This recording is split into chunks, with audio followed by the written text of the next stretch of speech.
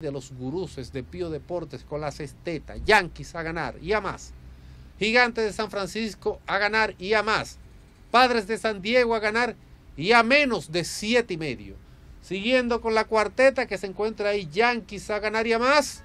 Gigantes de San Francisco a ganar y a más. Y la tripleta que está ahí en pantalla, Yankees a más.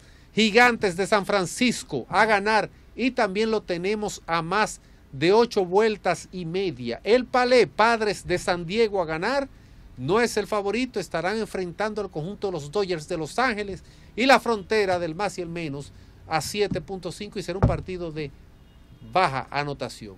Yankees de Nueva York, consiguiendo su victoria número 12, los llevará a ellos a ser parte de la historia que desde el año 1961